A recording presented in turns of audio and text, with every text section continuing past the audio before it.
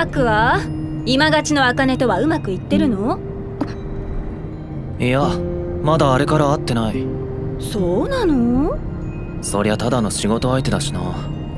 インスタ用の写真を2人で撮りに行くって話はしてるけど。仕事？そうよね。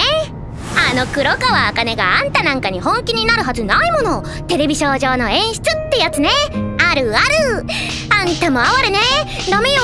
ああいうの本気にしちゃ。ああやだやだ。あんた本気で急に有馬ちゃんニコニコになって。